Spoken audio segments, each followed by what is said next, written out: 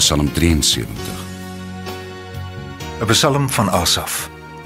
Waarlik, God is goed vir Israel, vir die wat rein van hart is. Maar wat my aangaan, my voet het amper gestruikel. My voetstappe het byna uitgegly. Want ek was afgunstig op die onsinniges toe ek die voorspoed van die goddelose mense sien. Want daar is geen kwellings by hulle nie. Gesond en vet is hulle liggaam. En die moeite van sterwelinge is hulle nie. En saam met ander mense word hulle nie geplaag nie. Daarom is die trots om hulle soos 'n halssieraad. Die geweld bedek hulle soos 'n gewaad. Hulle oë pyl uit van vet. Die inbeeldinge van die hart loop oor. Hulle spot en spreek in boosheid verdrukking. Hulle spreek uit die hoogte.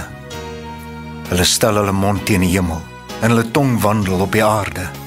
Daarom draai hulle mense hulle hierheen.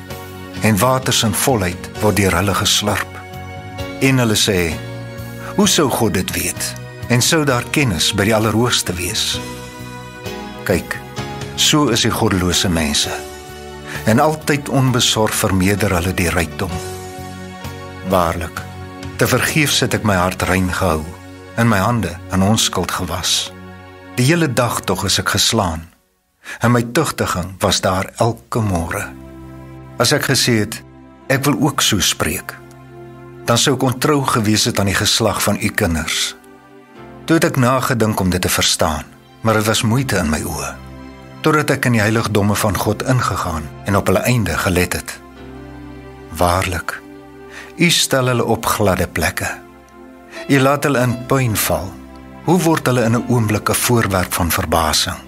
Vergaan hulle, raak hulle tot niet deur verskrikkinge.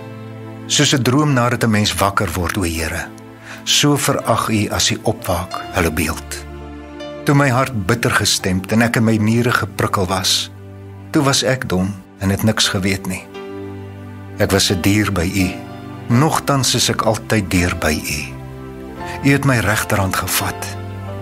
U sal my lei deur u raad en my daarna in heerlikheid opneem. Wie het ek buiten u in die hemel? Buiten u begeer ek ook niks op die aarde nie. Al beswyk my vlees en my hart. God is die rots van my hart en my deel tot in ewigheid. Want kyk, die wat hulle ver van u afhou, vergaan. U roei almal uit wat van u afhoereer. Maar wat my aangaan, dis vir my goed om naby God te wees. En die Here, Here, het ek my toevlug gestel om al u werke te vertel.